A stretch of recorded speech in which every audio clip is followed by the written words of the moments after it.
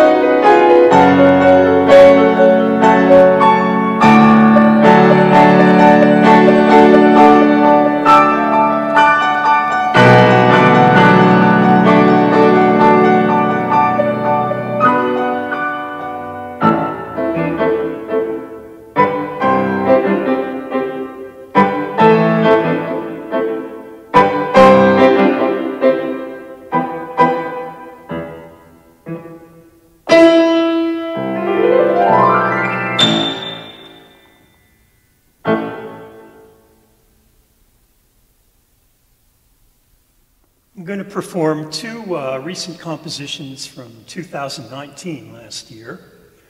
Uh, these were inspired by the Oscar Peterson piece, The Gentle Waltz. Um, I really love the simple melodic line and the bass counterpoint and uh, the rubato. So um, I was very inspired and uh, wrote these two compositions paying homage. Uh, the uh, uh, the Gentle Waltz was actually uh, arranged for the Oscar Peterson Trio uh, by him, and it was released on the Encore at the Blue Note, Note 1990 uh, release. So here's two nocturnes followed by the Gentle Waltz.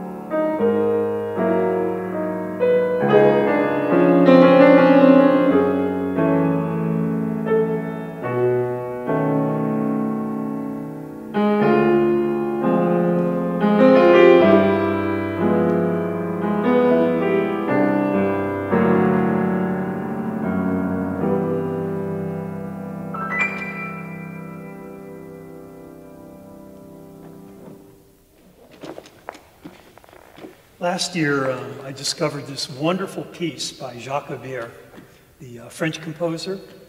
It's called The uh, Little White Donkey. And I heard a flute and piano arrangement of it, and it was just fantastic. So I looked into it, and I didn't really realize that Jacques Ibert um, had written a 10 movement uh, piano suite, and this was an adaptation for flute and piano. So I ended up uh, getting a copy of it. Interesting story, I was going to order it online at sheetmusic.com and, you know, pay whatever. And I ended up finding an original, beautiful edition from 1922, this oversized French um, uh, edition. So I ended up getting that on eBay for five bucks. So that was kind of neat. And then I've copied them here for my, uh, my use. So I'm going to be doing five movements in a row. I'll uh, translate them in English rather than say the uh, French titles. The first one is called The Leader of the Golden Turtles. The second is The Little White Donkey. The third, In the Sad House. And yes, it's very sad. The fourth is A Giddy Girl. And yes, it's very, very giddy. The fifth is called The Abandoned Palace. And the last one is called Under the Table. It's, uh, it's actually a Spanish title called Bajo la Mesa, and it's got a couple different translations, but uh, it's called Under the Table, uh, translated in English. Uh, Ibert was a, a, neoclassical composer from France. He won the Prix de Rome in 1919.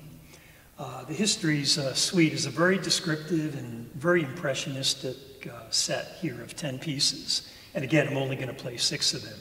And later, interestingly, he had arranged them for saxophone and piano back in 1939. Uh, Ibert composed many symphonic suites, operas, and uh, seven orchestral pieces. So this is six selections from Histoires.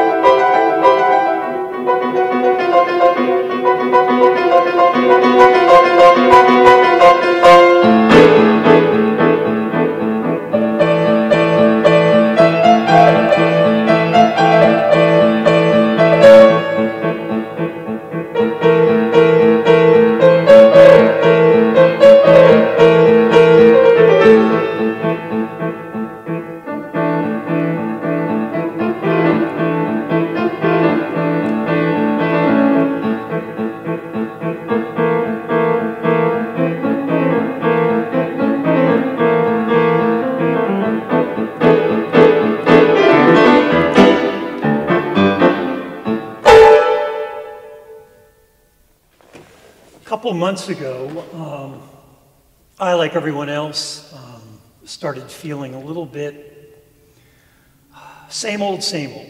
Uh, we have our pandemic going on, and uh, it's, uh, it's something to get through.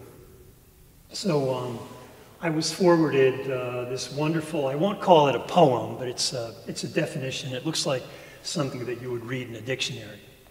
And uh, someone came up with this term called Coronacoaster, which is sort of like the ups and the downs and the ups and the downs of the pandemic. And I found it very, very inspiring. So I'd like to read this little definition, and then I'll play my composition called Coronacoaster. So here we are Coronacoaster. Now, the ups and downs of a pandemic. One day you're loving your bubble, doing workouts, baking banana bread, and going for long walks. And then the next day you're crying, drinking gin for breakfast, and missing people you don't even like. So this is Coronacoaster, my impressions of the uh, pandemic.